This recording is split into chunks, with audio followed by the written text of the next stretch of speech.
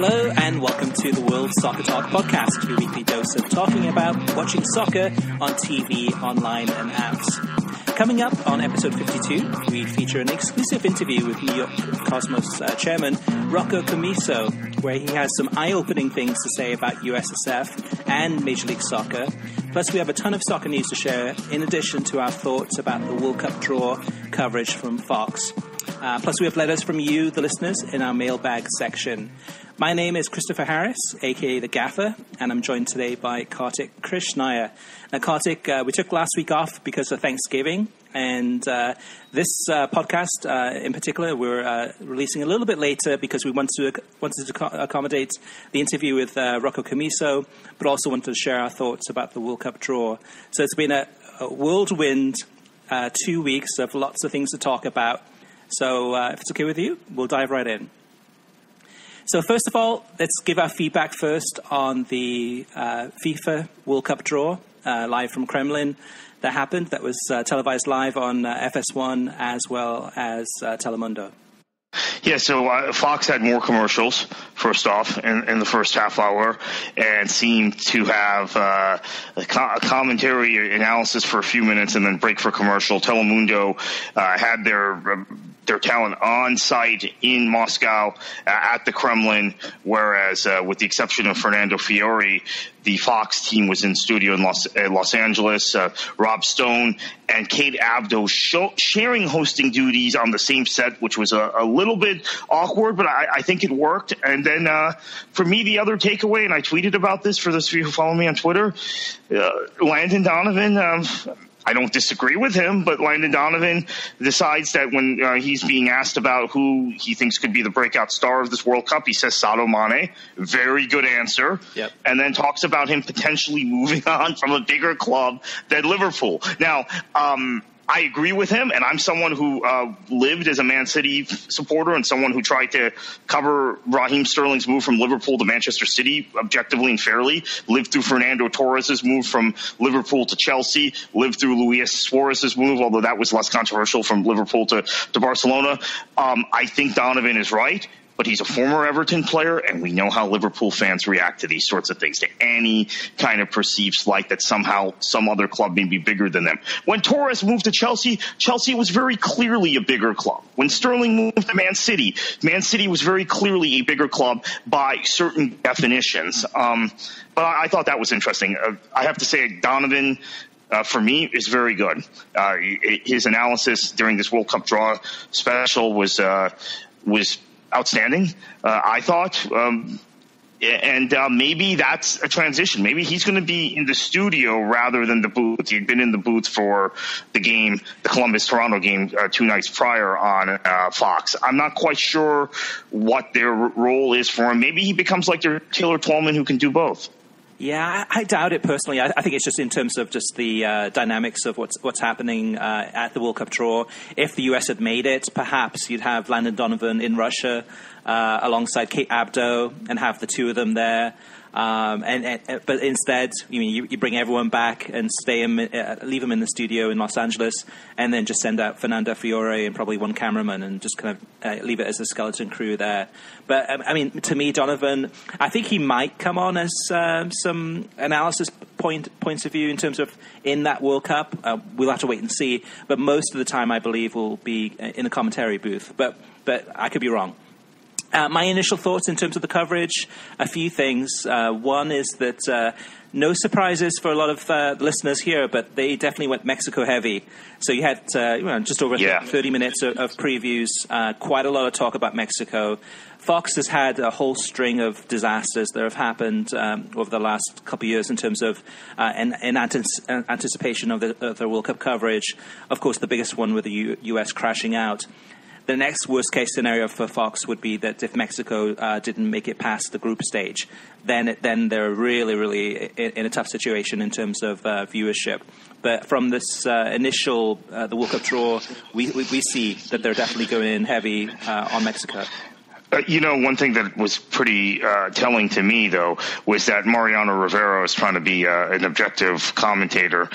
uh, on that set when Rob Stone is pushing him. I think to try and get the answer, yeah, this is going to be the best Mexico team uh, in several generations. Uh, he wasn't very uh, confident, right? Yeah. He was basically expecting the same sort of failure we've come to uh, expect from Mexico in every major tournament. And uh, uh, uh I, I, think that that's going to be the the um, competitive uh, feel of the Fox set as they they pursue this line of coverage because you've got on one end the very kind of American instinct that they've pushed with the U.S. men's national team to not be critical, to not uh, give proper analysis when things are very clearly not uh, adding up for the U.S. As I complained about all summer during the Gold Cup, where uh, Fox's coverage just completely turned me off the entire tournament. And if you want to remember what I said at the time, go back and listen to uh, to some of the shows during that period. Uh, I was at a, a Gold, Gold Cup match and couldn't believe Fox's analysis when I, I, saw with my own eyes something completely different than they were reporting on or commentating on uh, in the booth. And that led to ultimate failure because it created this sense of uh, this the, this sense of uh, um, uh, of delusion. Now, I think they want to do the same sort of thing with potential fans who might be engaged in the Mexican national team going into this World Cup, and guys who are Mexican uh, with a Mexican background, Mexican American, uh, Mexican commentators who they will have on their set like Rivera, may not let them. Mm-hmm. And I think that that's, uh, uh, sorry, like Trujillo. Right. Uh, might, might not let them. Um, I think uh, I called him Rivera earlier. I apologize. Mariano Trujillo, I, I think was who is very good, and I mentioned that during the Confederations Cup. I really liked his analysis. He's a guy that uh, understands the um, difficulty of uh, advancing in a competition like this. This isn't just um, an NCAA tournament situation where a team could get hot and they're Cinderella teams. Fox likes to portray it that way, or American commentators like to portray it that way. What it is is it is a, uh, with the exception, with maybe one exception in every tournament, a real thinning out of teams based on quality, based on pedigree, based on to a large extent history and um, that's tough for Mexico to overcome. Mm-hmm. Uh, a couple more things in terms of some of the uh, things to look out for, or things that we saw uh, from this broadcast. One is uh, obviously uh, not any mentions of the U.S. men's national team. Of, of, course, they didn't qualify for the tournament, but I was almost waiting to see if they would actually do a short segment on that. Or well, thank God they didn't, so that, that's good news. But the, the other thing that's more important to me is that today's face of Fox Sports' World Cup coverage for the World Cup draw was Fernando Fiore personally, I like him. I think he's entertaining, he's funny, he's jovial, but he does set a, a particular tone, which is very, very comedic, very clownish, very um, just fun and fr- frivolous. And that is such a departure from anything that, uh, say, ESPN had done in the past, or that, say, an NBC Sports would do. Um, I, I, I, just wonder. You mean does he appeal to the bilinguals? I, I, know there's a lot of Hispanics uh, in the United States that do not like him, um, so it's probably mixed. Does he appeal to the soccer diehards?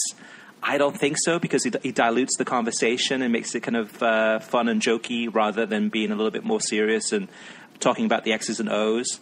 And is he a good representation of what Fox's World Cup coverage wants to be? I, I don't think so. I, I, but who else do you put into that slot, though, other than bringing in some different talent uh, to be that person? I, I, like him. I just think by the time that the World Cup is halfway through, we might be a little bit sick of him. Um, so it's definitely a liability. What, what do you think, Kartik? Yeah, I would agree with that. I like Fernando Fiore. He knows the sport, but uh, he is not uh, being utilized in, in a fashion where he deploys that knowledge. He's being utilized in more of a comedic role, which is, um, I think, troubling. Uh, however, I do have some high hopes that Fox, with the U.S. out of the tournament, and, and those who listen to this podcast regularly will know uh, six to nine months ago, I was saying the best thing that could happen. Now, I didn't want the U.S. to miss the World Cup, so this is a, a bad scenario for the overall game and we've already seen that with with layoffs of people who, who are our colleagues who write about this sport and less investment on the media side in, in, in this sport in the United States by virtue of the U.S. missing the World Cup. That's also what happens in a country that hitches its entire soccer culture to a national team and not to the, the club game or to the normal facets of, of football. But or that's another. Or just to the sport. Yeah, yeah, yeah. To the sport itself. That's a that's a topic for another day. But um, the the point I was going to make is that I was saying six months ago, nine months ago on this show. Those of you who are just general fans of world football, you cannot wait for the U.S. to get out of this tournament. The U.S. hopefully will be out in the group stage for that reason, so Fox can just cover the tournament instead of making everything about the United States. Well, guess what? We're at that stage now in on December first with the World Cup draw with no United States, and um, the Fiore central role thing uh, worries me because of the tone he's taken and the comedic aspect of it. But I think uh, when I see Donovan, when I see Trujillo, when I see Lalas talk about uh, guys like Mohamed Salah, talk about Juan Carlos Osorio, there might be a more serious nuts and bolts aspect to Fox's coverage that we would not have seen if the United States had qualified. And that, that I think, for general fans of football, is uh, a good thing. It's unfortunate it took the U.S. missing the World Cup for that to happen, if that in fact happens. Now, Kartik, throughout this tournament uh, coverage by Fox Sports, uh, are we going to be wondering how Fox's coverage would have been different if the United States had qualified? Yes. Yeah, and it's going to be interesting though too, uh, because in many ways, in the back of our minds, we're going to be thinking, okay, well, uh, obviously they, have they've, they've taken some budget cuts, uh, they've reduced the number of people attending um, the event in terms of uh, the, the, the, tournament, uh, in terms of uh, the number of people that are going to be working this, and hopefully, I mean, I'm, I'm, sure there's a long way to go. There's plenty of time. And we'll still find out who the, their talent's going to be and the commentators and all the details. But uh, in the back of our heads, I, th- I, think it's always going to be the question: Okay, how different uh, should this have been if the US had qualified? To me, though, Kartik, it shouldn't be that different. It should still. It's a massive tournament. This is the, the biggest tournament. I mean, it's big, bigger than the Olympics. This is massive. So no matter if the US is in or not, uh, Fox should have been preparing to make sure well, yeah. it's the best thing possible. Yeah, it's the biggest uh, sporting event in, in the world, right? The biggest uh, uh, non-annual sporting event uh, on the planet. So that that's uh, something Fox should have been uh, focused on, given the amount of resources, the amount of money they spent on acquiring the FIFA rights but instead, I think so much of it was built around a hubris, an expectation around the U.S. men's national team, which um, now, now, of course, these are the FIFA rights, so they get the Women's World Cup with it, and the U.S. women's uh, national team have won, are the world champions currently. But um, the, the, hubris around the U.S. men's national team and how that would drive their coverage of everything related to the FIFA contract on the men's side, be it the U- 17 and U20 tournaments, uh, and especially uh, the World Cup. Now um, they're forced to rely on a certain degree of uh, of soccer knowledge and and uh, uh, global uh, world football knowledge, which they have not displayed as a network covering the sport the way ESPN has. Uh, ESPN, of course, had the FIFA rights for, for years, for two decades, and uh, but it wasn't be, it wasn't merely because they had the FIFA rights that they assembled a team of of uh, talent that could cover all aspects of, of a World Cup tournament. Um, I'm also uh, we know they're going to have some National Geographic specials. We know they're going to have some. Um, some outside the uh, lines type uh, type programming uh, with this World Cup, but I still worry about Fox's inability to gather news and to react to news and react to things that happen around major sporting events like the World Cup, like the Olympics, like the Euros. I still wonder what would have happened if Fox had been covering the Euros last summer in France when we had uh, all kinds of issues uh, around hooliganism and, and uh, uh, uh, fan behavior at the tournament versus the way that it was covered by ESPN, who have uh, some very newsy people on their soccer team, the, the likes of Gab Marcotti, who is a journalist who can gather information, uh, as well as anyone in the English uh, speaking press in this uh, on the planet, and the resources of ABC News, who of course have a, a bureau in Paris, who are able to assist in, in uh, uh, this aspect of of covering a major event. Fox does not have that. Fox Fox News. I don't want to sound too political here. Fox News uh, is a uh, political commentary. You know, they're they're they're their people on air tend to be political commentators or former political uh, people who've worked in politics. And then they've got the resources, I guess, of Sky News, but Sky News has got is got a similar kind of um, bent. bent to it yeah. at times, right? And quite honestly, may not have as many people on the ground in Russia because they're not a rights holder. Uh, Sky Sports is not a rights holder. So uh, I wonder about that. Yeah, yeah, definitely. It's going to be, and you know, there's going to be news events happening uh, at the World Cup that will need that type of Always. level of coverage. So, uh, but I'll, I'll, give Fox the opportunity, though. I mean, there's still plenty of time for them to kind of hire some additional people to strengthen that side of the, the, the business or form some uh, partnerships, uh, kind of uh, during the World Cup. So, so we'll have to wait and see on that one, though. But, but Kartik, I, I do think uh, just to kind of uh, sum this up and, and just to kind of end on this note before we move on to other topics, is that it's almost as if Fox Sports now has to start from scratch, start from the beginning in terms of this World Cup coverage, because they have really been the rah rah cheerleaders uh, for the U.S. men's national team, going back to what the Gold Cup, going back to Copa America Centenario, just building up the hype so so much, and then came crashing down. And and now what are we left with? Now there's very little substance, and and I, and I think they really have to start from scratch. And today is the start of that, uh, and we will see in the coming weeks and months uh, what happens and how that evolves. Yeah, I completely agree, and, and I think also going forward, hopefully the next four years, I don't know if Fox will think of it this way, but uh, they did a disservice to um, to the American fan and to, to, to the audience with their rah rah, their their lack of critical thinking. It created a bubble to the point where, and people who know me and people who follow me on Twitter say, "Oh my God, he says the most outrageous things about me. He he he comments on the most controversial things. Hot take uh, central, right?" I instituted a policy starting in the, during the summer to not tweet, or actually starting during the Mexico game to not, uh, in, which is early summer, June, to not tweet at all during U.S. men's national team games. And it, to me, to a large extent, it was due to the culture that Fox had created. That any critical thought, any sort of analytical view of a U.S. men's national team game, even if it was a positive analytical view, was not uh, permitted, and it, it, had become a fan base so diluted by, um, by, by by this kind of insular, positive insular thinking, this groupthink, that uh, I just didn't even want to engage with the fan base. And those again who follow me on social media know um, I have a reputation for hot takes and outrageous statements about uh, various things, largely uh, soccer slash football related topics. Okay, Kartik. So, uh, what else have you been watching uh, this past couple of weeks? And it, I, I, guess we can't go through everything because there's so much, but uh, maybe just highlight some of the, the uh, interesting uh, either matches or coverage that you, you, saw that you think would be interesting uh, for yourself or, or, for the listeners. Yeah, I um, watched the Dortmund Schalke game, which I, I, would hope most people watched. I'm guessing they didn't. guessing they watched the Premier League, at least based on the numbers we've seen. I thought it very very entertaining match. Uh, it was a uh, an opportunity for Fox to showcase the league. Now, of course, Fox uh, can't get away from the American theme with anything.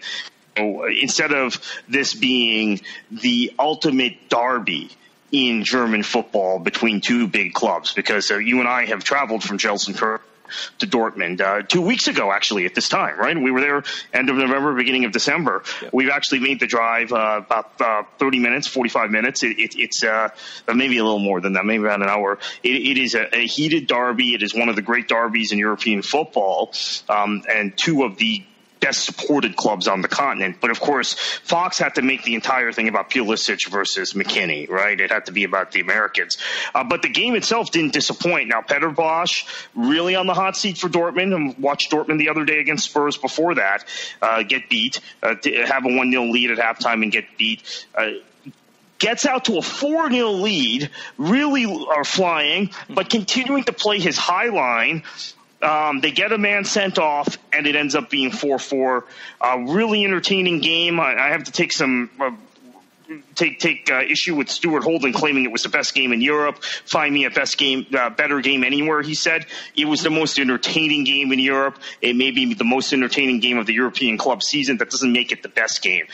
Dortmund's uh, inability to defend and Dortmund's inability to play uh, tactically the way their manager wants them to, playing a high line with with uh, two center backs in particular, the fullbacks also, but the two center backs are not capable of playing uh, that way. And we saw this with Andre Villas-Boas when he went to uh, Chelsea, right? The same issue with playing a high line. Exactly. I, I, think it makes it makes games very entertaining, but it doesn't necessarily make games. Um, make the game a quality game. Uh, that that having been said, I enjoyed the game. Yeah, it's uh, actually finally I think the Bundesliga finally had a, had a game that lived up to its hype.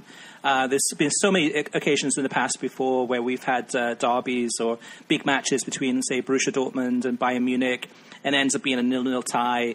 And finally, this was a game that, that I think um, if, if there's any, any soccer fans out there that missed this one, uh, try to go back and see if you can watch this one because it was very entertaining.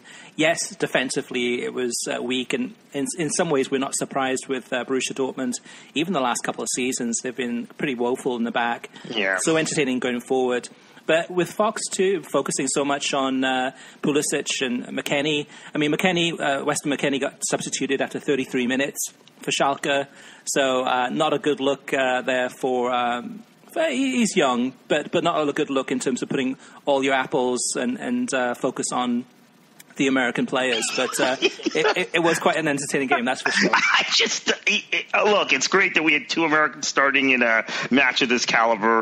Uh, it doesn't happen very often, but I mean, re- really, a, a derby of this stature between these two clubs, you're making all about two young American players. I um, uh, and I know there are going to be listeners who call and say, "Oh, that's what happens in every country." I, I, I think Fox really puts pushes it beyond um, recognition, and Fox now hasn't changed your rhetoric or tone with this sort of thing, even since the U.S. Uh, for the World Cup. Um, so, I, and, I, and I think they're doing a disservice not only to the viewers, but I think they're doing a disservice to a lot of the people around uh, the American game because there, there's. Um, I've complained often, Chris, about a sense of delusion, a, a sense of uh, uh, of not quite understanding the United States' place in this global game, and, I, and a lot of that to me comes from Fox because just the tone they set.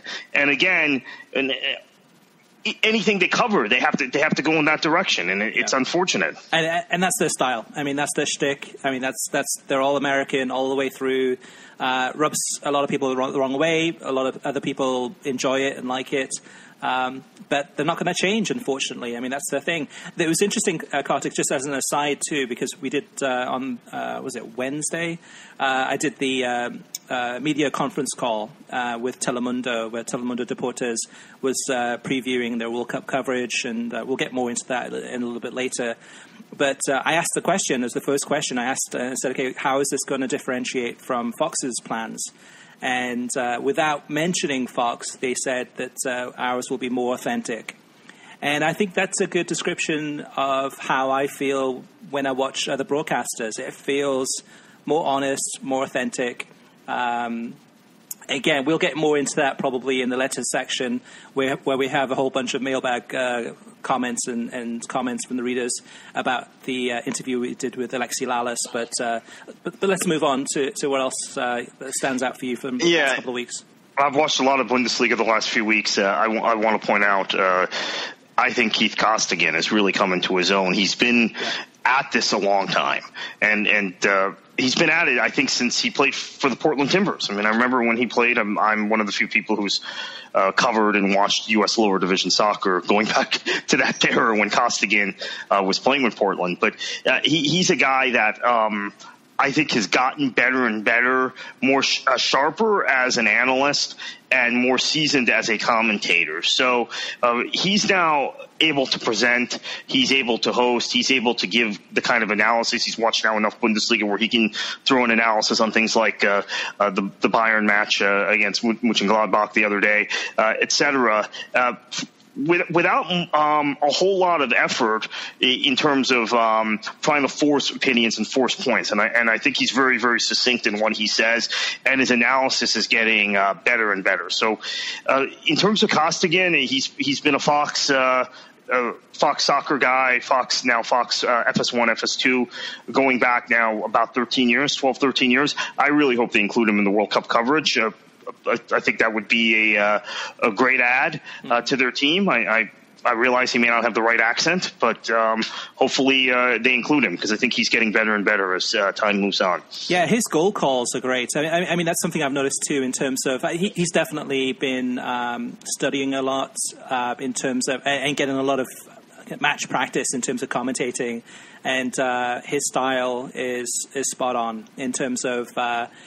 You mean not talking too much um, and sounding like somebody that you'd, you'd want to listen to rather than somebody that just spouts out facts and trivia. Um, it, it, adds to the game, and, and, he does a good job. Yeah. Whoever you works with as co-commentator, uh, yeah, he has to be on the team. Or if he's a co-commentator, right? He can do both, which is, um, yeah. I think, a, a real uh, asset, and he can also be a reporter, as he was during the uh, the, the Denmark Republic of Ireland two leg tie, uh, and, and uh, grab some um, good post match interviews. Had, had, an interview with Christian Eriksen. I think it was the only interview I saw with Christian Eriksen in English Mm-hmm. After that spectacular game Eriksen had, uh, poor Eriksen, of course, missed a sitter against Leicester uh, this week. Uh, but uh, you know, obviously at the international level, has had a great, uh, great run of it recently. Uh, otherwise, I mean, I've just been watching probably what everyone else has been watching: Valencia and, and Barcelona. Watched Champions League last week, Man City, Feyenoord, uh, Dortmund, Spurs. I missed Europa League because I was traveling, uh, so I missed Everton one, Atalanta five at Goodison. Uh, uh, Columbus, Toronto. Obviously, tried to watch uh, uh, as much of that as I, I, I, didn't get to see the whole thing. I admit I was watching a college basketball game uh, by Miami Hurricanes, who I support, uh, uh, playing Minnesota in the ACC Big Ten Challenge. So I only watched a little bit of Columbus, Toronto. Uh, but um, the thing that has uh, uh, stood out for me, and uh, maybe this changes, we're going to talk a little bit about Mark Clattenburg in, in the next uh, in the news section. But uh, the addition of Mark Clattenburg may have broken up a little bit of the monotony for NBC because Kyle Martino. Uh, now we, we, we say a lot of positive things about Kyle Martino often as a commentator. I have to say, uh, it's even more of a, a, loss now to me because a couple weeks into him being off of NBC's coverage, I'm just not terribly interested in what's going on in the studio. I'm skipping their studio shows. So, um, uh, bringing in a guy like Clattenburg who'll have a different perspective, and uh, I loved that he he came out right away and said, "Hey, I got a call wrong last year." Um, I, I, forgot which call it was. It was the Alexis Sanchez against Hull, Hull City call. Right. Um, he said, I got that wrong. I, I didn't see it right. Uh, I went and apologized to, to Marco Silva and to Hull City at halftime. Um, I, I, love that honesty, and I think it adds another element to their studio. I didn't watch the Fan Fest. I was watching Schalke and, and Dortmund, and, and I tried to turn back and watch the, the, the, the Fan Fest, and it was just inauthentic to me. So you talk about inauthentic uh, and contrived. So I, I just kept watching the Bundesliga on FS1. But um, I'm glad I'm glad Clattenburg has been added, and, and, I know we'll get a little bit more into that in uh, next segment. Yeah, so the fan festival actually I, I enjoyed. Um, I think it's one of those things that if you were there, it was probably more exciting than what what we saw on television. Uh, what we saw on television, the the sound wasn't great. They did the "You'll Never Walk Alone." They had kind of the uh, the Liverpool fans there singing it at the same time that it was happening at Anfield, and you had a split screen. I think the idea was good, but um, the, the, the, acoustics, well, the acoustics were bad, but also the singing was really bad on the uh, at the fan festival. So it sounded like just a whole bunch of people singing out of tune, um, and they didn't have the backing track that like they do at Anfield. So it was it was kind of corny, but but I, I like that um, NBC Sports is trying to mix things up a little bit. Uh, the Mark Clattenburg uh, edition, even on a temporary basis, I think that's a great ad. And uh, I think this fan festival um, will do a lot in terms of goodwill, in terms of uh, the New York audiences uh, having a lot of the supporters clubs coming in, and, and that's a great benefit to them. working with, with NBC to, to be able to allow their fans to be at this event. But for the TV viewer, eh, it was okay. And I ended up having, I think, both on. I think I had the the Revere Derby on one set, and then on, on another monitor, I had the uh, the fan festival on, on, at the same time. But uh, it, it, was okay. I, I, do like actually the last couple of weeks. Um, NBC definitely has been trying to uh, mix things up, in addition to those two things I just mentioned. But um, there's been le- less Arlo White. Um, he hasn't been on two times a, a weekend like he normally is. Um, so we've had a lot more of the world feeds for the commentaries, which has been good. Uh, and again, I think in, it's important that um, we don't get too much uh, Arlo White because sometimes it, too much is not is not good. To be honest with you, the, the other thing I have liked a lot too the last couple of weeks is the. Um, the, the, bonus uh, material. So, uh, and this is something that NBC did what when it first started with the Premier League, which was kind of a, a, new revelation at the time. But they'd show the game, and then they have bonus coverage. So the game would, whatever game it was on, would end, and there's still like five or ten minutes of another game that would have on. And uh, with a lot of the midweek matches and some of the matches uh, over the weekends, um, this type of uh, which which Fox now copies and they do that too, but um, it's great because you're watching a match, whether it's uh, Manchester City against Southampton, kind of the last few minutes of that, that, game, and it's really exciting, and then you switch over to uh, another game that's that's going on, and, and vice versa. So I, I, really think that adds to the entertainment, and especially with uh, a lot of these games being on NBC Go- NBC Sports Gold not every single fan is uh, subscribing to that, so it's a good way to still stay in touch and see what's happening in those other games that you may not have access to uh, the full 90 minutes. Um, I did watch the uh, Toronto Columbus game. Um, not to me, not the most exciting game. I mean, yes, definitely the the atmosphere, the atmosphere in Toronto is great, and uh, kind of cheering on and Jozy scoring the goal against all odds w- with an injury, uh, but not not the most entertaining game by any means. Um, the interesting thing to me out, of this one, and it was just really one of the main reasons I, t- I tuned in, was one Columbus Crew. Um, so it's going to be a big uh, loss to have them out of this uh, MLS Cup. But two is Don Garber was supposed to uh, give a um, an interview uh, with Alexi Lalas, and it was going to be a pre-match. And supposedly there was uh, traffic delays, so he couldn't make it to the uh, pre-match. So he, he conveniently was not there. And then supposedly he was going to do it halftime, and he didn't do halftime. Uh, he was at the stadium, and I was waiting at post match to see if he'd do a post match interview uh, with Alexi Lalas. Uh, you know, of course, Lalas and Stone to interview uh, Garber. That didn't happen either. So really disappointing, especially with uh, everything going on in terms of the, the World Cup disaster and uh, the USSF well, combined with that, but also the Columbus Crew, Save the Crew uh, movement, and, and, what's going on with that whole fiasco. But very disappointing from Don Garber that uh, either Don Garber or Fox uh, couldn't get it together to get him on air, even for you know, 10 minutes, five minutes, something. Uh, very disappointing.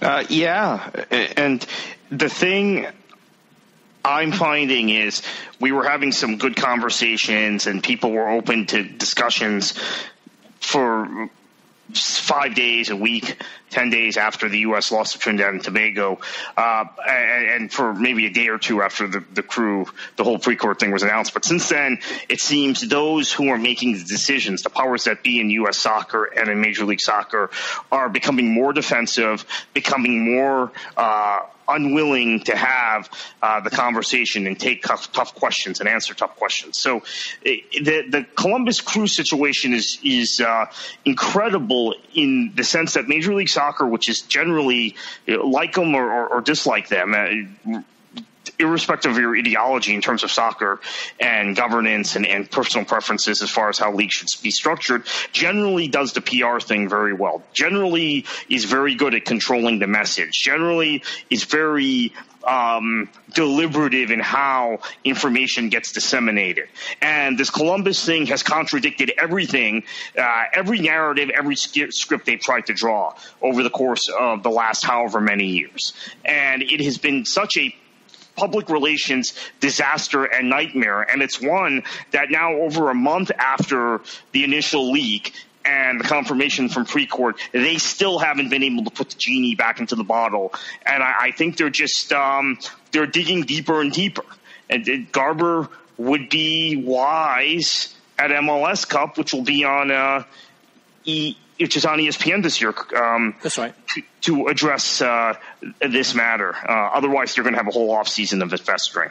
Yeah. And um, I think they, I think it might be uh, far gone for them. And again, the, the point being, Chris, MLS, love them or hate them, I tend to not uh, uh, agree with many of their, their preferences for how they structure the sport in this country, but they are very good at the PR game typically. And this has been a disaster of uh, uh unparalleled proportions in, in the history of the league. Yeah, and, and, the timing isn't good either because you've got, I mean, the US, is, uh, um, the US uh, getting knocked out of the World Cup. You've got the Columbus Crew, crew situation. You've got the NASL antitrust uh, lawsuit against um, USSF, uh, which I mean it does involve MLS to to some degree. And then you've got the also the uh, the CAS appeal. Uh, where Kingston Stockade and Miami FC uh, appealed to the Court of Arbitration, which we still have to hear back from. So there's, there's a lot of things happening. Um, and, and other things too. There's, it's just not those, but those are four major things that are happening all at the same time. And, and really, I mean, think about it, Kartik. I mean, the U.S. Uh, Trinidad and Tobago game, that was October 10th. So if Garber does come back out and says, I mean, he does the um, the MLS Cup on December 9th, that's almost two year, uh, two months after the actual uh, the US gets knocked out, which there's big implications in terms of MLS uh, in regards to that too. And we'd love to get uh, Garber's viewpoints on on what he feels about that. But um, yeah, it's um, and, uh, at the end of the day, I mean, I mean, MLS is probably happy that Columbus Crew gets knocked out, and now they're hoping that that, that story will drop and there'll be less exposure on that and that everyone will start talking about Toronto and Seattle and Houston, um, you mean, and, and, move move the narrative on. Uh, I don't think that's going to happen, but I think I'm sure that's what they're hoping. All right, Kartik, let's move on to TV streaming news, and I'll have you kick it off. Yeah, uh, so Premier League clubs will screen up to 210 live matches per season uh, in the new UK uh, deal that will uh, begin with the 2019-2020 season. Uh, it's uh, it's up from uh, about 170 to 180 now, uh, which means more games will be shown live in the United Kingdom, which is a positive. Uh, it also means Sky uh, might raise their rates even further for those of you before you get too excited about this. So we'll see how this plays out. Yeah. Also, it means I mean for US viewers. So so for the UK viewers, yeah, it's a it's a big changes and it's it's a good news in terms of having more games on television.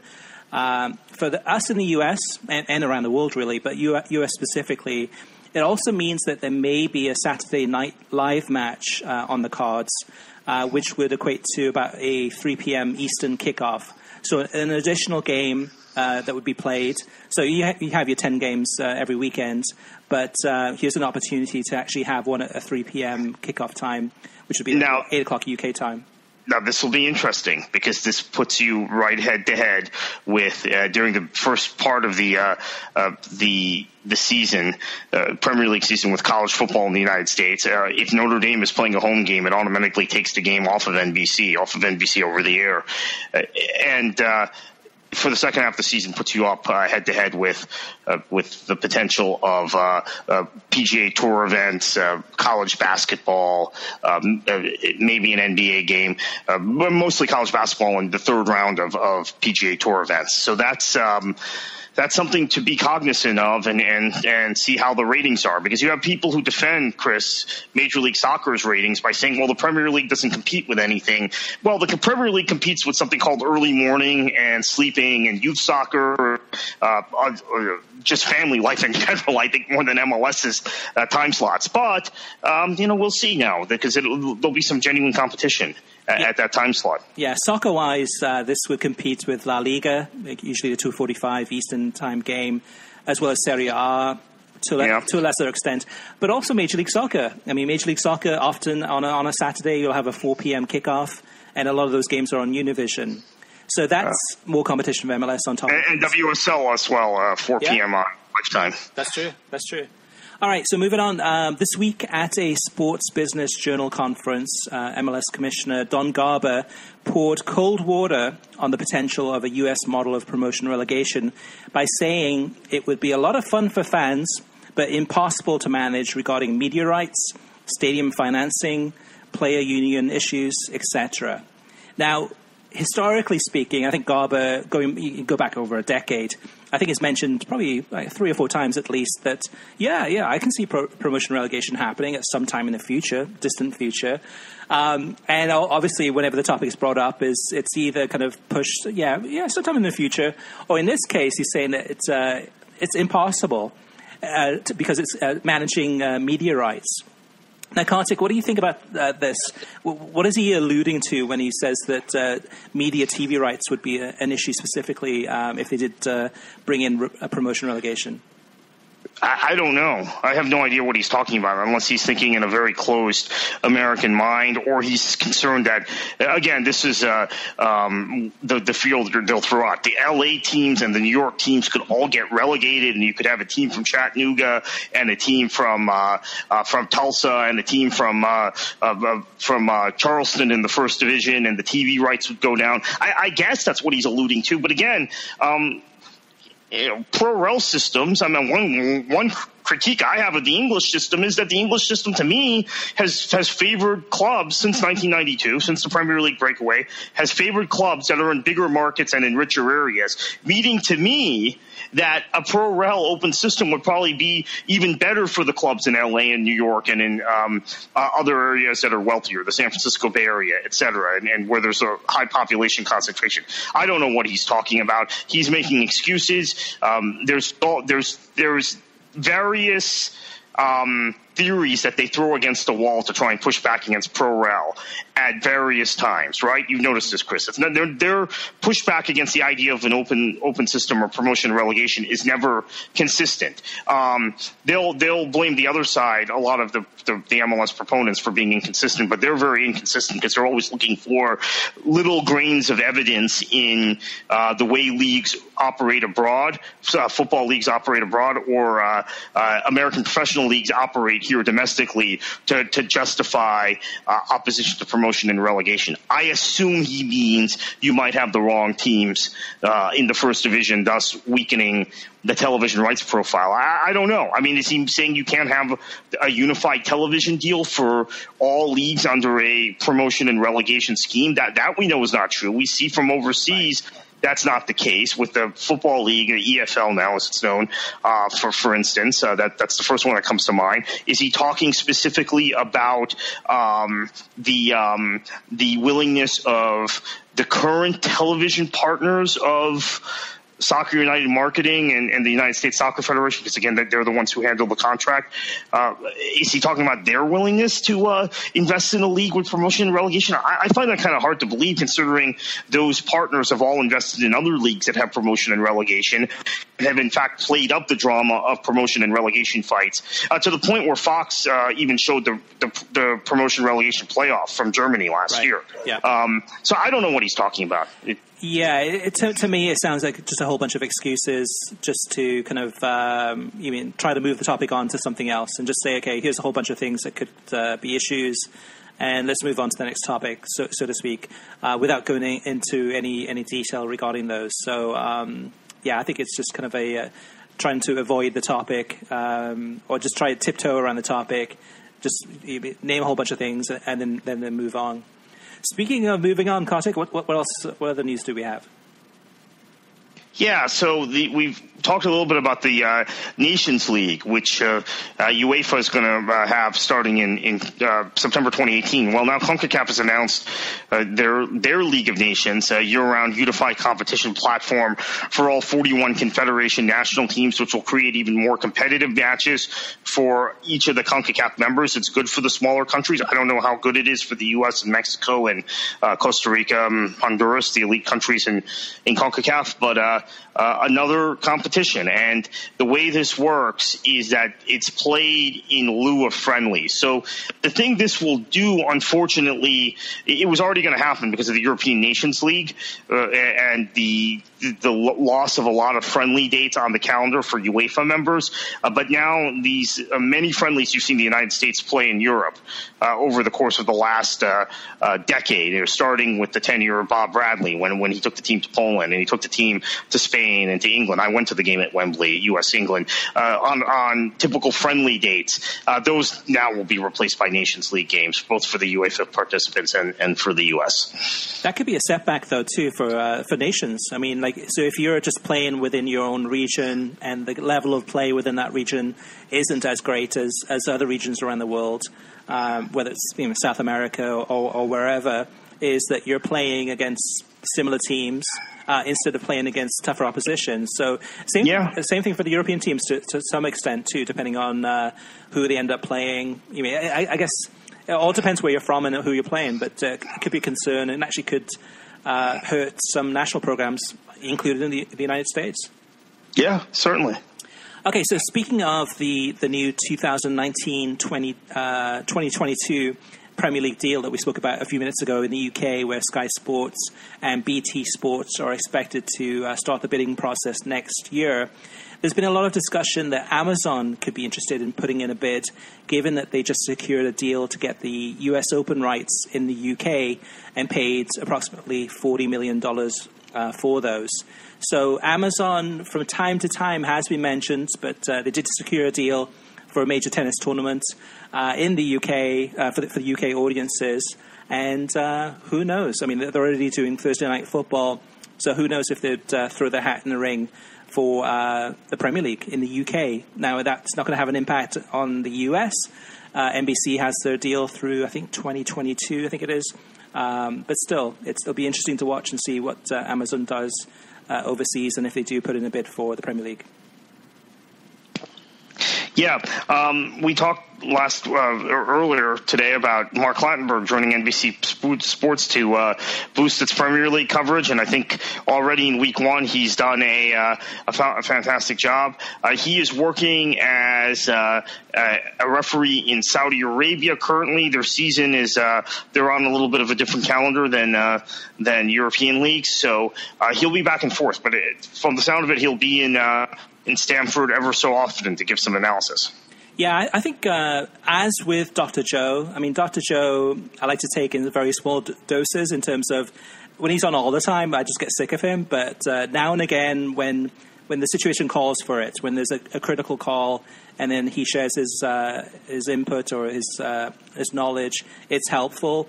And the same thing with Mark Clattenburg too. If he was there every week, we probably would get sick of him pretty soon. But he is going to be there on a temporary basis, and we'll be um, providing some analysis uh, to help out the crew. Actually, going back to what you said earlier, Kartik, I didn't get a chance to. Um, mention it, but uh, for me, I, am definitely missing uh, Kyle Martino in terms of his coverage and his analysis on NBC. But I think the two Robbies have, have done a great job. Um, again, it's a smaller studio set, um, less people. I mean, you usually don't have the two Robbies and Kyle uh, there anymore. Um, but um, and for me, the two Robbies have been great. So let's move on. Uh, another news uh, point is that uh, ESPN announced this week that they've had uh, layoffs with 150 jobs being eliminated. Uh, this is um, in, a, in, a, process of, of, several layoffs that they had, they've had over the last couple of years. ESPN has told us that their policy is not to announce which employees are affected. Instead, they leave it to each individual employee to decide whether or not they want to make the information public or not. But uh, according to a source that spoke to World Soccer Talk, none of the ESPN FC crew were affected. So that's good news. Yeah, that's very, very good news. And the show uh, continues to roll on. Gab Marcotti actually uh, in Bristol this week, which is a, a, welcome change to have him on the couch. Uh, Rebecca Lowe will be uh, NBC's daytime host for the Winter Olympics in February, as she was in 2014, uh, when uh, after NBC, their first year of covering the Premier League. So she won't be able to do the Premier League live coverage uh, that month or during the course of the the Winter Olympics. Uh, we've reached out uh, to find out from NBC who the temporary replacement for Rebecca Lowe will be while she's away, but um, the network isn't ready to make an announcement. Could it be Steve Bauer or Arlo White like last time? Could they borrow Sebastian Salazar uh, from uh, ESPN? He obviously has had a relationship with NBC and, and Comcast in the past. Uh, I guess we'll have to wait and find out. Okay, and last but not least, uh, so I had that conference call this week with uh, Telemundo Deportes. Uh, they went into more detail in terms of their World Cup coverage. We have an article at worldsoccertalk.com that goes into a lot more detail. But uh, the, the, summary is, is that out of the 64 games uh, in the World Cup next summer, 56 of them are going to be live on Telemundo, uh, the over the air network, uh, which is available across the United States. Um, of the eight games that they're not going to be showing, those eight games are going to be live on Universo. And uh, the reason that those eight are on Universo is because um, at, at, certain times, usually at the end of the uh, the group stage, um, and uh, I think, well, yeah, I think it's the, group, end of the group stage usually is that you have games playing being played concurrently. So they can't have two games on Telemundo at once. So they would have the, one of the games on Telemundo and then the other game on uh Universo. Uh, in addition to that, um, I believe that all of the commentators, uh, or actually the vast majority, if not all of them, will be commentating uh, from the stadiums in Russia. I need to get some clarification on that just to make sure. But uh, in terms of the talent that they'll have, uh, some of the names just to throw out there: uh, Carlos Hermosillo, who does a lot of the, of the Premier League coverage and is, is quite good indeed.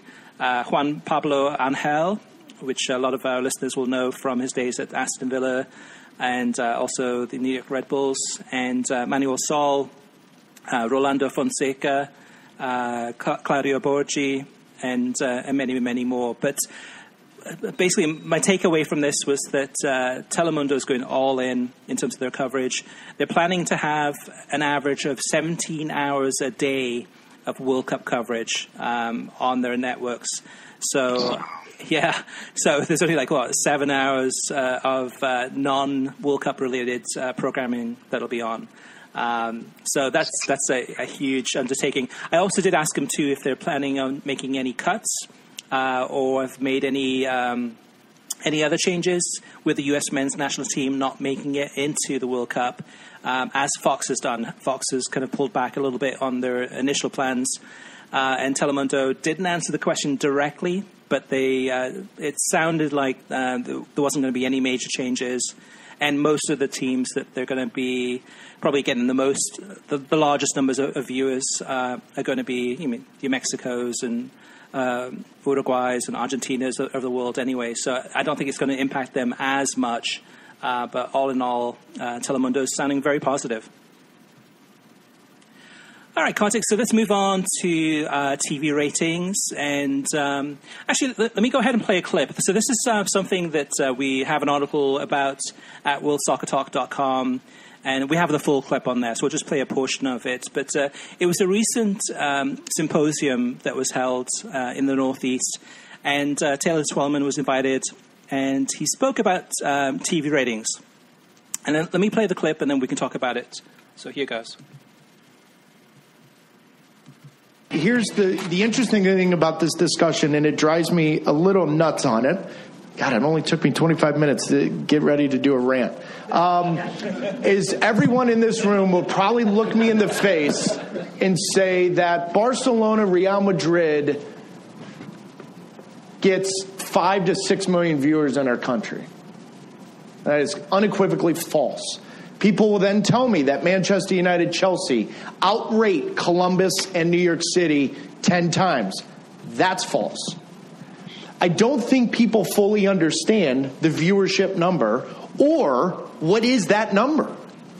When Stoke City plays Southampton, I'm just telling you guys, it's 300 to 400,000 people. When Columbus played New York City Tuesday night, it was 430,000 people.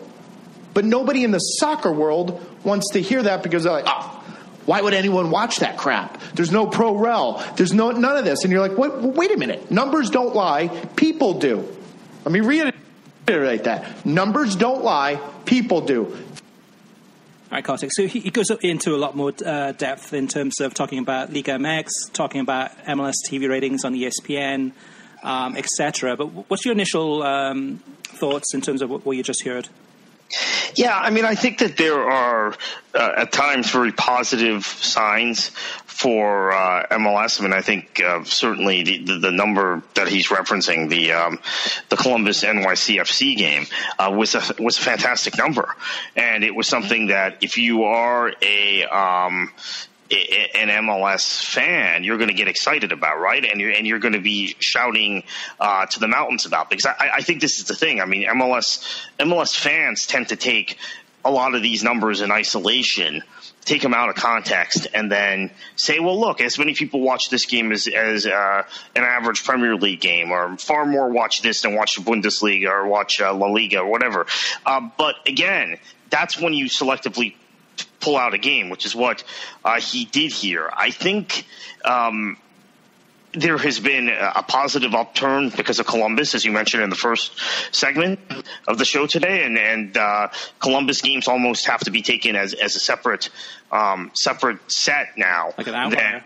Yeah, well, I mean, there have been so many of them in the playoffs; they're not necessarily outliers. But I think you have to look at a Columbus average and a non-Columbus average if if you want to look at the playoffs. And if you do that, and you look at uh, the games that don't include Columbus, the ratings are still nowhere near the average Premier League game. Yeah, that, that's my biggest criticism in terms of what Tw- uh, Twellman said there too. Is kind of comparing a uh, Stoke against Southampton and saying you know 300,000 people watching that game uh, which is which is true. It's probably that's a, uh, a typical kickoff, uh, a typical uh, viewing number for a you mean a 7:30 game or, or, a 10 o'clock in the morning game, and then comparing that to Columbus against Toronto, that's been shown in prime time on ESPN uh, on a weeknight when there's probably very little competition, and you have the Columbus Crew in terms of uh, everything that's been going for them this season. A lot of controversy, but pulling in a lot of viewers that normally would not watch uh, Columbus and kind of ho- hoping that they do well. Uh, it, it's an unfair comparison in many ways, and, and, I think it's. I mean, yes, it's a good number. I mean, that Columbus Toronto number is fantastic, and, and we hope to see bigger numbers like, like that too. But um, I think it just this comparison was a bit off. We're averaging Premier League matches. I think average about uh, 450,000 viewers uh, which is down uh, a little bit, but still it's it's a decent number, and that's an average, and that's that includes the Stoke and Southamptons, includes the the Swansea Bournemouths, as well as the Man United Newcastles, etc., etc. But um, for listeners who are interested, I definitely go to the website, to the homepage, worldsoccertalk.com. It does go into a lot more detail, and he does talk about some other things too. And it's one of those things that I think um, I would have loved to have been at the uh, symposium to hear the entire speech. Um, and and maybe he went into greater detail later that wasn't on the video. Um, so I'll give him the benefit of the doubt.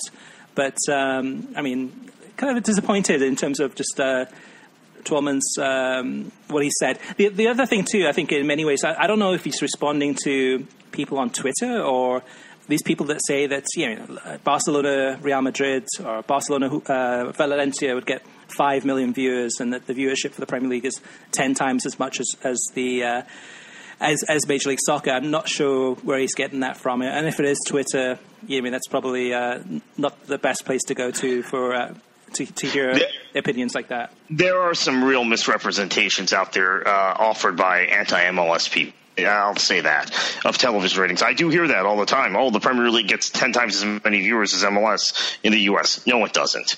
Uh, let's be, but but there's a gap, right? So it's not the the defense then of, of people who are who opponents of MLS will be that oh more people are watching or more people are actually interested uh, in the teams, which is nonsense. Garber once said that that uh, there were people actually interested in Major League Soccer than in the Premier League. When in fact, I mean I think the the city of the people watching um, the, the leagues, the 500,000 who watch the Premier League really engaged in the league, the way NFL fans are uh, in this uh, country.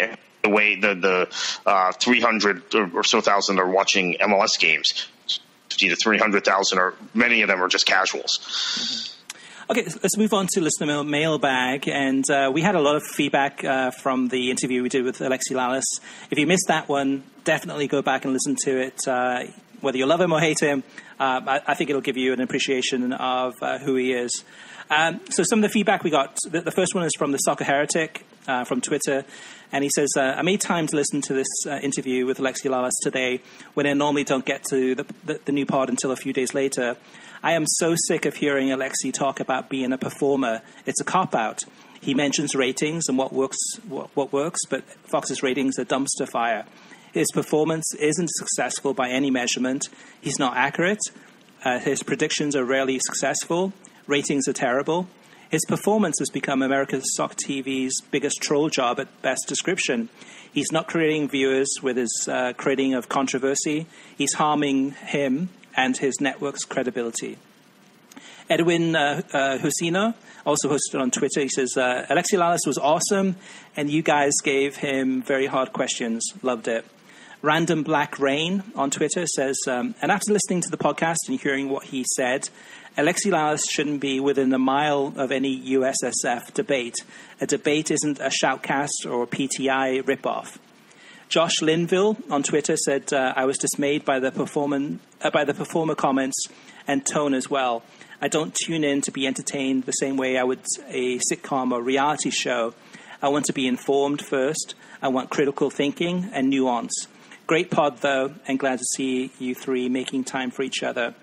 And lastly, Trevor Hood uh, through Twitter uh, said, Have you considered putting together a piece outlining, outlining the various power players and their relationship to help us better understand what's at play in US soccer going forward? Able to piece some, uh, some together from the podcast, but those politics uh, mostly unknown to the average fan. And we got a whole bunch of other comments too.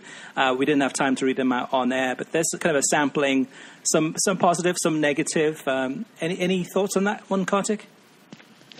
Yeah, I, I, think the thing that the takeaway from the the interview we did with Lalas, uh, with some hindsight, and the uh, the ability to see how folks to it on Twitter was uh, his assertion that he's an entertainer, that he's a performer, and that's something that goes on in news divisions, for example, all over the country. Uh, news, uh, television, uh, local channels, and cable news channels, be it CNN, MSNBC, Fox News, whoever, is the role of the presenter and the host and the commentator that's sitting at that desk to inform, or is it to entertain?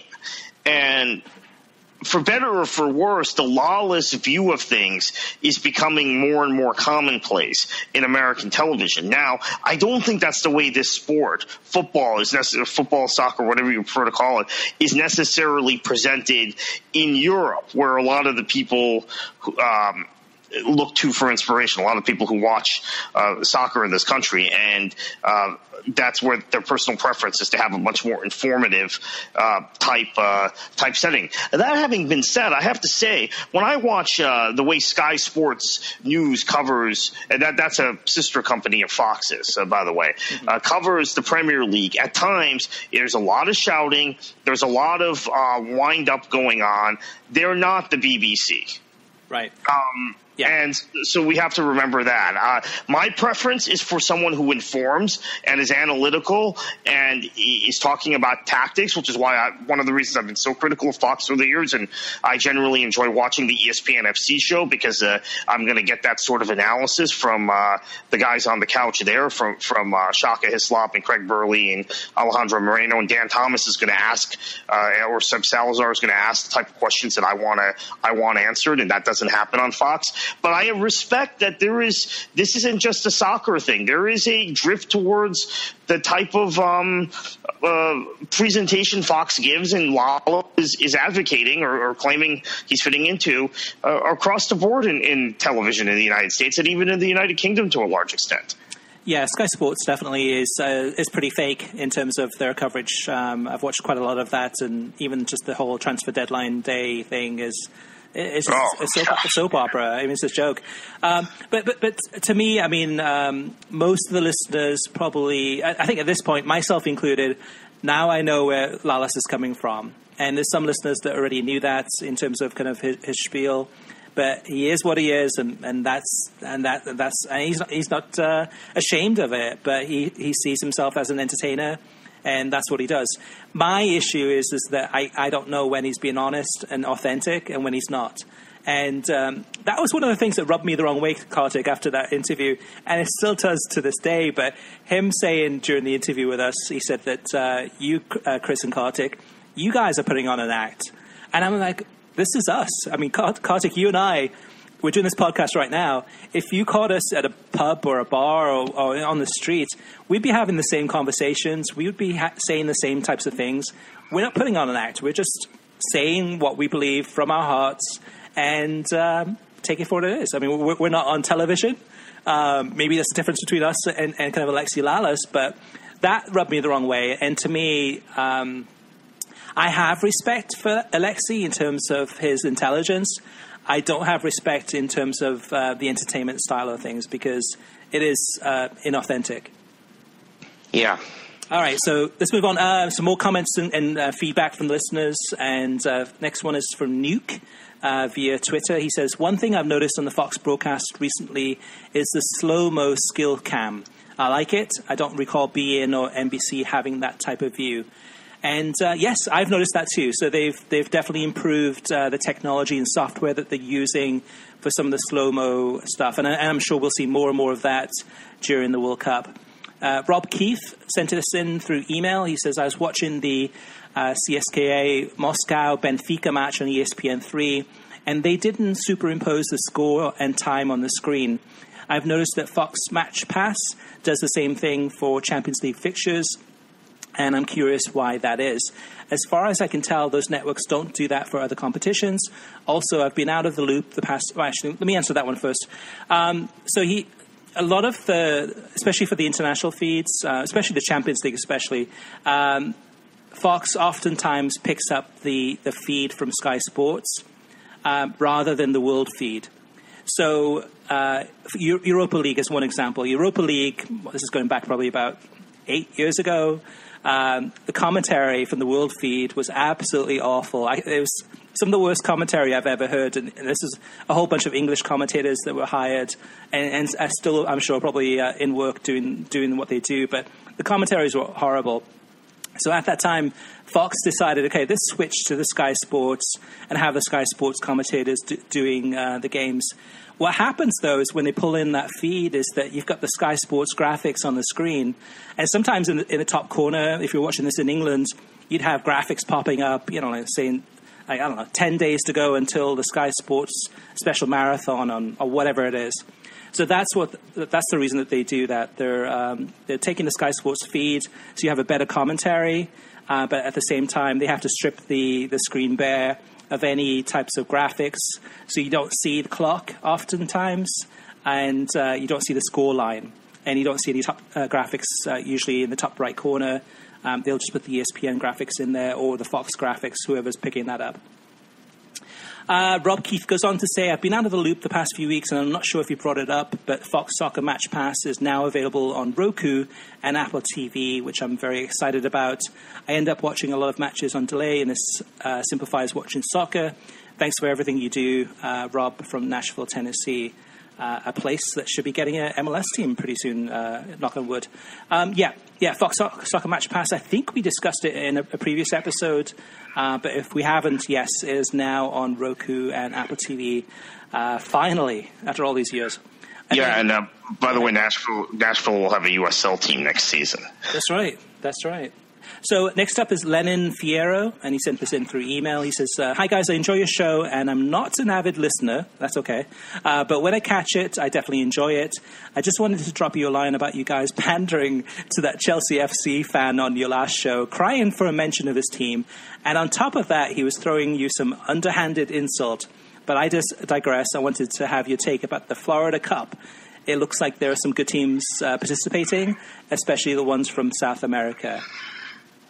Uh, yeah, yeah. I actually uh, last season got to call a game in the Florida Cup, uh, uh, it, the game that was played here in Fort Lauderdale for um, for Fox Soccer Match Pass. Actually, I think it was uh, it was aired on Fox Soccer Match Pass and, and Fox uh, Sports International, some of the Fox Sports affiliates around the world. So our News Corp companies. So yeah, I'm looking forward to the Florida Cup. I've been involved the last few years. I've mentioned calling that game last year, the previous year.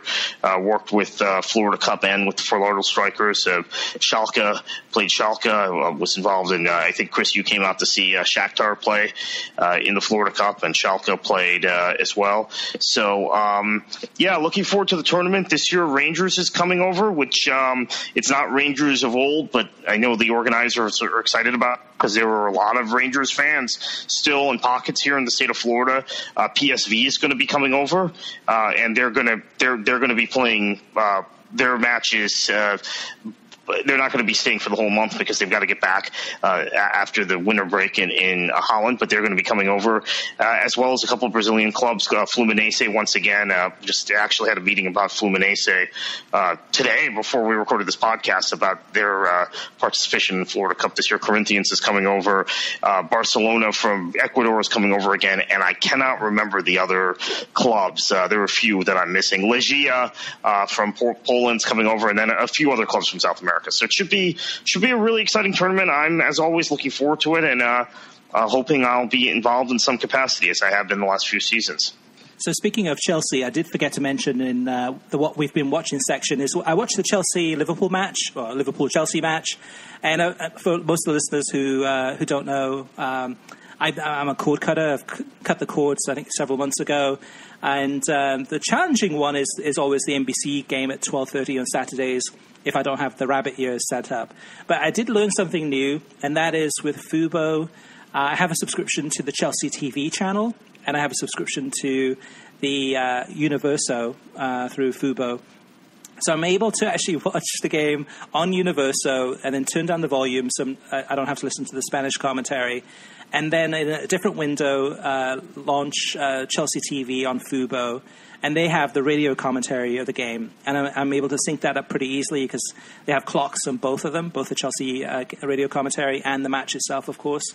And I'm actually able to sync that up and listen to English commentary of a, a match that's uh, in on Spanish language television, and it worked out really, really well.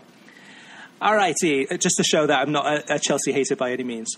Uh, last but not least, uh, Jason Ryder uh, through email. He said, uh, Hello, this is Jason in Virginia. I have enjoyed watching free Manchester City highlights on their official website for years now. Are there any hints to them having a streaming service to show full games, whether it's a paid service or not? My other comment is that I have enjoyed uh, having the Football League on ESPN3 service this year. It is by far the best. Uh, is by far the soccer I have watched the most in the past few months. Um, the answer to that, Jason, is to somehow get YES on your uh, the YES network, the Yankees network uh, cable system. Yeah. That's the way to do it in the U.S. Which, which you can get through Fubo, I know that, and uh, so that through there you get a lot of the highlights of um, Manchester City Television, or you get everything. Yeah, they'll show they full game once or twice again during the course of the week. You get a lot of the Manchester City TV features. Um, in fact, I think YES might have a daily show, half an hour show that's produced by City TV that they, that they put in. Now, obviously, during baseball season, um, it's tougher to find these things, but uh, the period of time that we're entering now, where the Premier League is ongoing and there's no baseball, uh, YES is loaded with Manchester City content. Okay, and then uh, his comments about the uh, ESPN3 and, and the, the, championship, which actually they've been showing a lot of League One and League Two games recently too, when, especially during international breaks. I agree with Jason. Um, I just haven't had a chance to watch as much championship or football league matches as I would like, just because there's so much going on and so many different matches to choose from. But uh, it is an intriguing championship season by far. So I'm, going to try to probably watch some more over the holidays.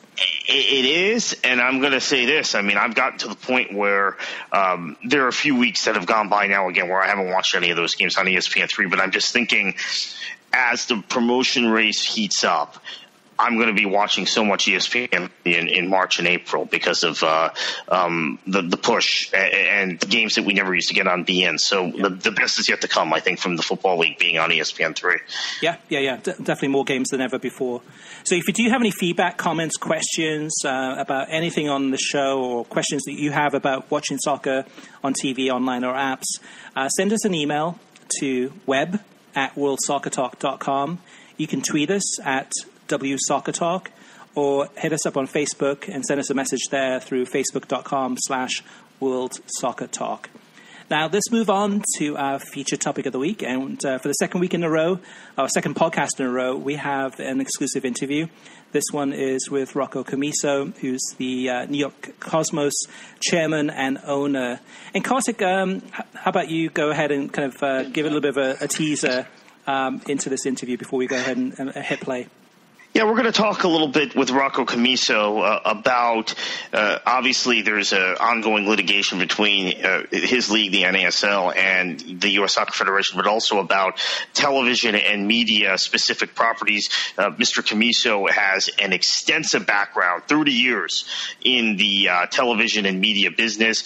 Uh, he's the the founder of Mediacom, which is one of the largest uh, cable providers uh, in the country, uh, one of the largest media companies in the country, and uh, we, are going to talk a lot about that. In addition, let me uh, mention to our listeners that there will be much more content uh, from Rocco Commisso. he was very generous with his time, Chris, with you and I. We, we spent about almost uh, two hours on record with him talking about various things. So this is one portion of it related to to media, uh, but there is uh, much more to come that you can look for at WorldSoccerTalk.com in the next uh, five to seven days.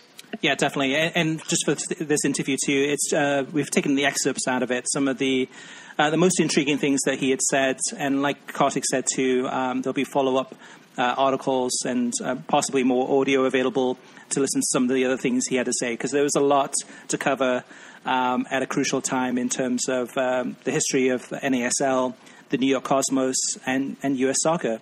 So let's go ahead and play the interview with Rocco Commisso.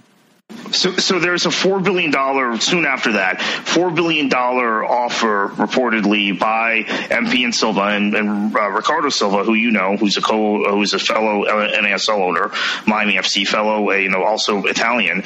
Um, to impose a uh, a pro rel structure in the top three divisions of U.S. Uh, of of what would be U.S. soccer, but uh, with MLS at the top, and uh, involving MLS in a pro rel structure, it was rejected. We talked at length, Christopher, at this podcast about that, uh, thinking it was very short sighted by MLS and very uh, ill advised. Um, what's your take, Rocco, on why MLS said no to that, and um, and, and, and is there some SUM something beyond simply not wanting promotion and relegation.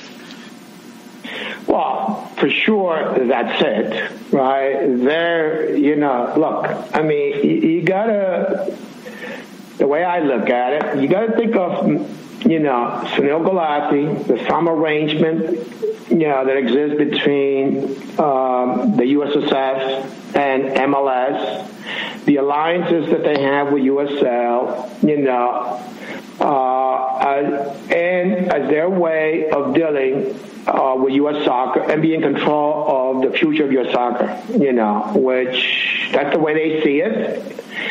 And, and that's the reason why we are in the situation that we are in today. Okay? Because they haven't given, you know, uh, people like myself, you know, and there's a lot of pro rel you know, individuals that I read on Twitter every day, right? There's been a lot of surveys, independent surveys taken that people in America, now that they they see all these phenomenal games that come out of the Bundesliga, the Liga, Serie A, and the Premier League, yeah, there's a huge appreciation of what soccer could be if we follow the European example, right?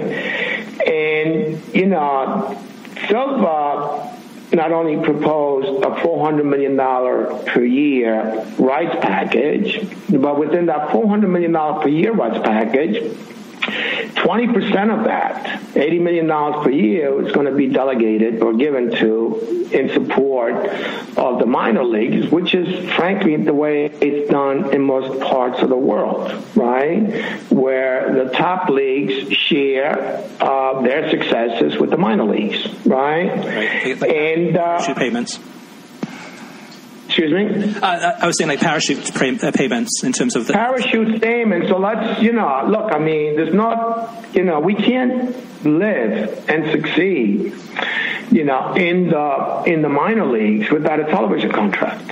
You, you follow me? You know, some may lose a lot, some may lose a little, but everybody's losing right? Sure. The television contract is what's make it possible, and then the opportunity to get promoted to from one league to the other that doesn't exist in this country, right? That's huge, right? Uh, Silva's opinion, and my very, very strong opinion, is that promotion relegation would dramatically increase you know, the interest of the television audience in this country for MLS, you know, for professional men's soccer.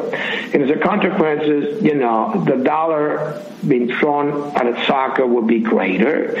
So everybody would, you know, it's a triple up type of uh, situation. What's amazing is the USSF uh, also made snide remarks, you know, to the Silva proposal. They they never sit down with Silva and say, "Tell us about there's some interest here," because it affects every league in this country, not just MLS. So they basically listened to what MLS had to say, and they never met with Silva again, and that's terrible right? Because the last time I checked, USSS Soccer's responsibility through all the constituency of soccer, not just Doug, you know, Don Garber and his boys, you, if you follow me, right? Not just the MLS teams. Uh, the other thing, and I said it in my my discussions in February 2017, there's a lot of teams within MLS they're already used to promotion and relegation.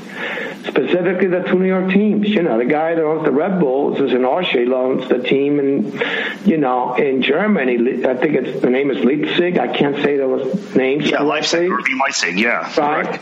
Correct. And they moved from what Division Four, Division Three to Division they One. Got promoted, right? yeah. They got promoted three times in seven years. Okay, fine. And, and, the people that own the Abu Dhabi people that own, you know, New York City FC, they also own Manchester City. Right now, you know, they're number one in the Premier League, I think, right? Um, and and so is Saputo up in Montreal, and so Kroenke. I mean, there's a lot of people, you know, they are familiar with and and and invested money you know, in European soccer with the idea that if they don't succeed on the field, they may get relegated. So they accepted that. Why should the MLS owners not accept it? So let me give a warning, you know, to anyone that thinks of investing in MLS, you know, you know, uh, invest at your own risk because sooner or later promotion relegation is going to come to this country. Okay? Um, yeah, is it going to be next year? But so let's see how our case turns out, you know, and then I may have some other things to talk about in a future podcast, but not right now, guys, all right? But this idea that you need to protect people's investment, you know, who's protecting my investment?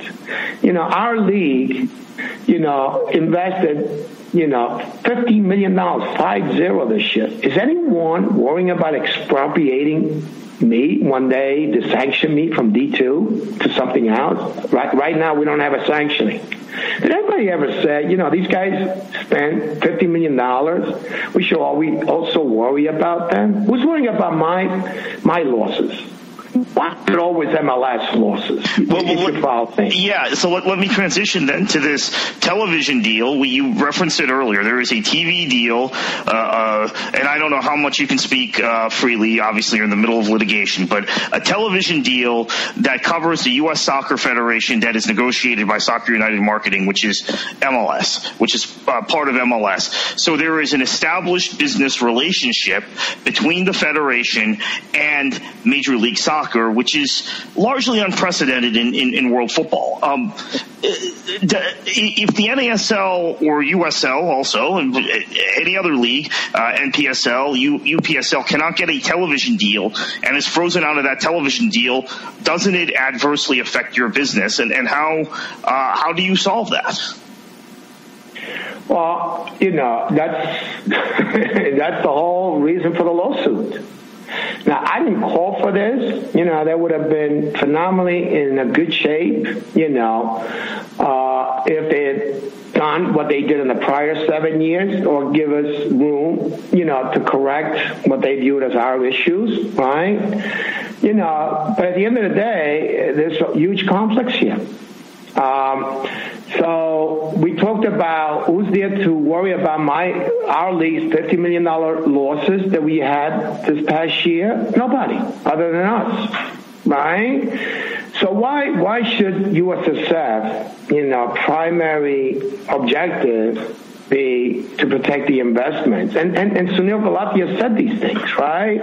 I'm not here to, you know, he made all kinds of statements related to I'm not here to expropriate, you know, people that have already made investment in the MLS. That's not my job. Well, it's also not your job to expropriate my investment that I made in the Cosmos by sanctioning me, right? right. So, I mean, we have huge, huge conflicts here of the USSF taking a position. They're going to be joint at the hip, as it was mentioned in our lawsuit, as it was mentioned in a number of newspaper articles.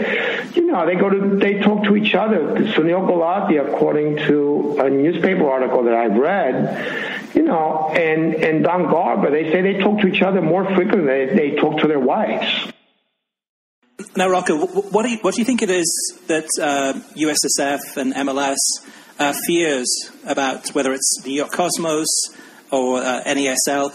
Why are they acting this way? What do, what do you think their, their thinking is?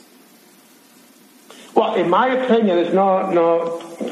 Look, they, they know my resources. You know, they know who I am. You know, they know I'm a local guy. They know I may not speak the right language the way you guys do, right? You know, but whenever I say something, people listen to me, right?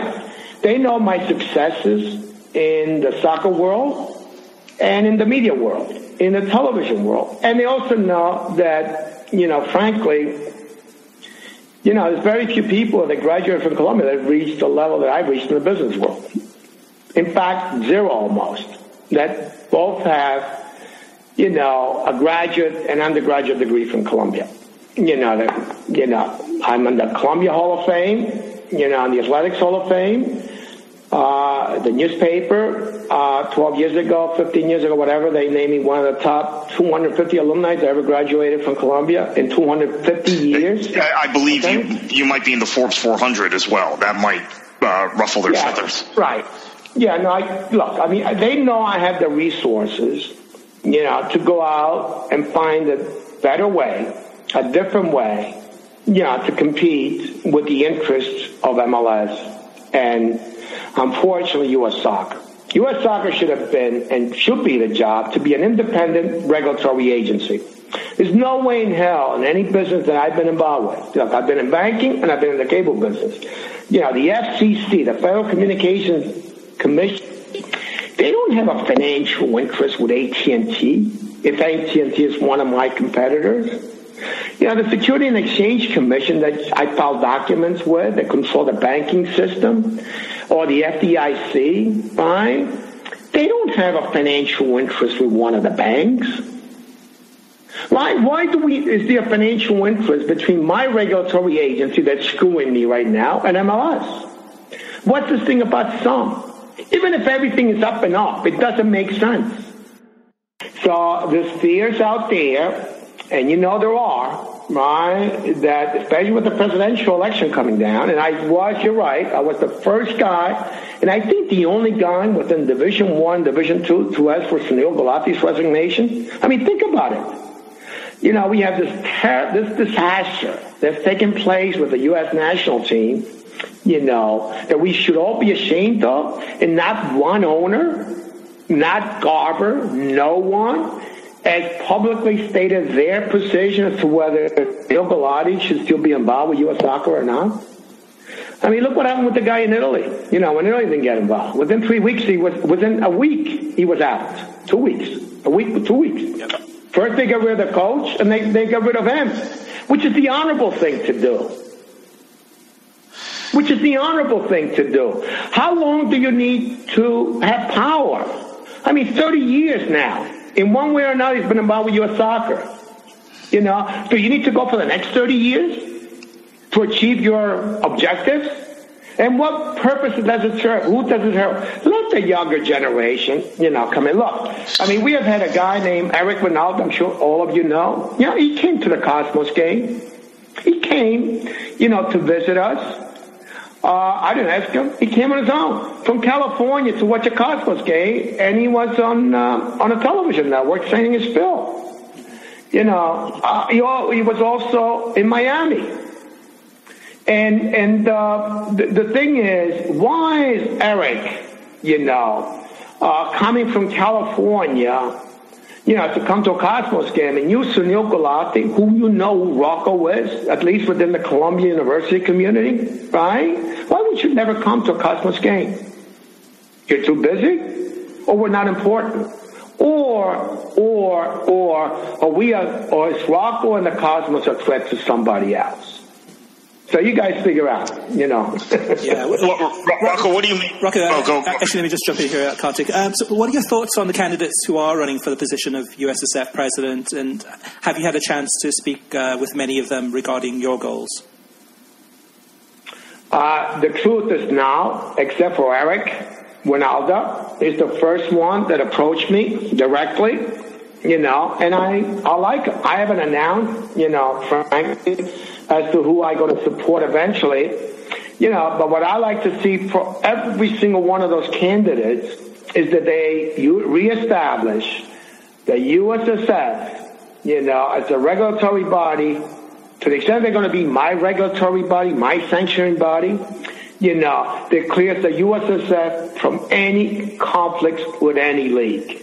It's simple as that. I will not accept any candidates, okay, that, you know, that I will support, you know, unless that's the number one mission that they have to make sure that if the USSF is going to be regulating me, they have to break away, frankly, from SUM and from the MLS. Period. Understand? It's good for everybody. It should be good also for MLS, by the way. Let, right? let me let me ask you this: If uh, yeah, it should because there's too many entanglements now. Do you feel like U.S. soccer perhaps is getting shortchanged. The men's and women's programs are not receiving as much money as they would otherwise because uh, of the TV deal with SUM, and perhaps Soccer United marketing is lobbing off more money uh, with that deal than they should, and, and maybe it's hurting our men. Our men's program didn't qualify for the World Cup. Maybe it's hurting them. Uh, what, what is your thought on that? That's a theory of mine. Uh, uh, my thought is that, uh, you know, since I have more experience than all of them, frankly, when dealing with, uh, you know, with um, sport, not sports rights, but programming rights, if you will. Sports is part of that, right? But I'm on the, I'm on the giving end. I pay money to ESPN, so ESPN can turn around and give money to the USSF. You, you understand how? First, my consumers pay yeah, me, and I take their money and give it to ESPN, and then ESPN turns that money and gives it to the USSF. My feeling is that if Sunil promises, or anybody that runs for president, okay, uh, of the USSF, if they think there's any shortfalls at all by breaking away those relationships, Rocco will be the first one to guarantee to them that I'll make the shortfalls. Okay, you want me to say it in English now? yeah, basically got it right. So um, if there is, so if, they come to you and say, "Look, if we're going to break away from SUM or the USSF, I mean from MLS, and it's going to be a shortfall because they do a better job than somebody else for the television rights." You know, and by the way, when we say break away, break away the national teams, right? You cannot have the national teams you know, combined with those rights. You follow me? Which brings a lot of value to MLS. I'm saying I'll yeah. be the one that was willing to guarantee to them, you know, this more, not just the same, more proceeds that they now get to the extent that they promise the soccer world that they're going to dis- that they're going to disentangle themselves from their relationship with the MLS. Correct. Right. Okay, and I have the, and I have the resources to do it. So if they think they're making, let's pick a number. If they think they're making fifty million dollars a year, you know, because of the com- combination of, you know, the yeah, of the common uh, sale of those flights, you know, the national teams, the whatever, the CONCACAF, whatever the hell it is, right? With MLS, I guarantee, you know, at least that kind of money to the USSF, you know, for a long period of time, as long as they desanction. As long as they, you know, break break those cords and become the, you know, and become the the the sanctioning body and become the independent uh, federation that they should have always been. In other words, a federation that worries about everybody's interests, not just the MLS. So if, the, so if they're an independent arbiter, they're an independent body that regulates uh, leagues under that, that that are member leagues, as they should be, as they are in much of the world, uh, soccer federations. You could guarantee that um, whatever shortfall in revenue they get from negotiating a TV deal, which by the way, again, I, I, I don't have all the facts, I don't have all the numbers, but I don't believe the shortfall will be very great. I, I think the media companies, ESPN, Fox, and Univision pay for um, more for the national team rights, men's and women's, than they do for MLS. Right? I, I think MLS is almost a throw-in in that package. If you're being perfectly objective about it. Um, Listen, uh, I didn't want to say that. These are words from you, but let's correct. assume I sort of agree with you. All right? okay. Right. So I don't think the shortfall will be very great to begin with. Um, how do you disentangle the USSF from Soccer United marketing? This is the nine million dollar question, uh, Rocco, um, and guarantee that your league and every other league will be independently uh, governed. I think. Look, I mean, look, I mean. I think that, frankly, I think there's a difference. I don't know how it's done all over the world, but clearly there's a difference between amateur and professional, right? Uh, soccer. You know, maybe there's got to be two components of USSF, right? One related to professional, one related to amateur. And, and by professional, I mean women and men, right? Yeah, but at the end of the day, everybody's got to have representation uh, on the board. And, you know, you know, a guy like Don Garber should not have, you know, veto control on any decision that the USSF makes. It's as simple as that. You know, the pro council needs to be refigured, redone, and the USSF should fully behave as an independent agency. Right? Maybe it's more important than us because the teams are involved, but it should certainly not have if if if the MLS, if the USSF is in the job of sanctioning him the way they sanction us, right? He should not be in the in a position as veto rights and appointment rights of anybody that belongs in that council. Now, regarding the um, NASL, uh, the federal antitrust lawsuit against USSF, I mean, of course, the, the, the, case is still ongoing, but is there anything you, you want to share or get off your chest regarding that case that you can talk about? Well, unfortunately, very little. We have uh, today, I guess I should say, we filed our second reply you know, we, we're, we're going through the appeal process in the appellate court in, in, in New York. Uh, and, uh, yeah, to the extent that we get the injunction, I think it's safe to say, you know, that we're going to be playing in 2018. Um, to the extent that we don't, then it's safe to say that probably the Cosmos will not play in 2018. That's that's just, that's it. Yeah, the lawsuit will continue. Let me just say that the lawsuit will continue. The lawsuit will never be stopped. You know, and I don't think, frankly, that the USSF or MLS or SUM will ever want to be in that situation. You know, because what the lawsuit means is that you know, we're going to go through a discovery phase. There's going to be depositions under oath. You know, there's going to be emails, um, you know, emails that were written, you know, 10, 20 years ago, I don't know, five years ago. Everything is discoverable. And unless, you know, uh, people, you know, want to risk going to jail, you know, everything's going to be found out about as to what really transpired in the last five years, ten, you know, five years, ten years with the linkage between U.S. soccer and the MLS, right? And and I think, frankly, you know, I know it's a higher threshold, you know, to win the injunction or even the appeal, and I I understand that, right? But it's a lower threshold from what I've been told, you know, to win the lawsuit.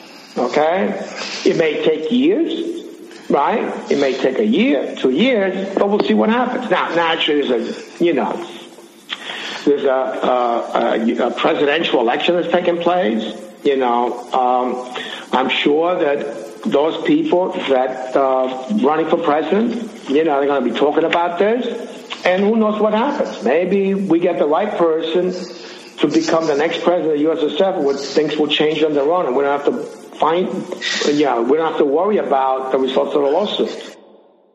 But we are at the court, just to, just to, just to make it transparent, when we were at the court hearing, which I appeared, uh, you know, it's like the church. You have two aisles, right? You have the middle aisle where the wife and husband go to get married, your father, and then you got the left and the right, right? The wife and the husband. You, I don't know if you've been to an Italian wedding, but that's the way we do it, right? So on the right, we have everybody that was supportive uh, or lawyers for you know the you know the NASL. We had newspaper reporters, we had players, we had team members, we had people that worked for, and I, you had me, you had Rishi, you know, and um, Chris uh, Hines from uh, California, and a few other MLS people, uh, uh NASL people. On the other side, you know, the only one that showed up for the court hearing, four lawyers from the MLS. Now, is this crazy or what? So what, what, what do the four lawyers from the MLS were doing there? Why, why do they have to have four? Theoretically, they're not a party to this lawsuit, correct? Well, they may be a party to the lawsuit.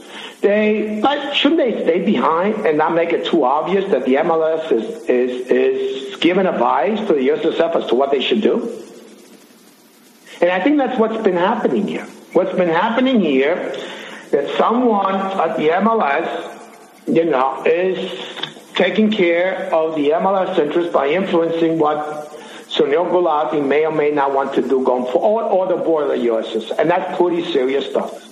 Okay? Now, all of that, frankly, at some point in time will come out as the lawsuit, you know, will proceed, whether we win the injunction or not. So let me restate it again. The lawsuit will go on, you know, as long as I'm around.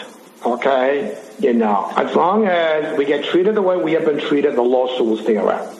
You know, the lawsuit will only stop when somebody, you know, representative of the U.S. says, uh, you know, we're willing, you know, to do the right thing and, you know, and, and renegotiate something that makes you guys feel good. Now, time is running out, right? Because, you know, we got to be prepared for the 2018 season, right? And uh, so it's running out on me and it's running out on them because they're going to own they're going to own this decision for the rest of the history of U.S. soccer. That they put out of business an entire league. They will own that decision.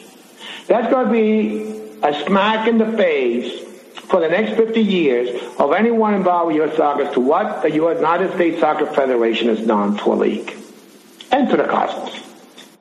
Well, New York uh, Cosmos chairman and owner Rocco Commisso, thank you so much for your time. We really appreciate it.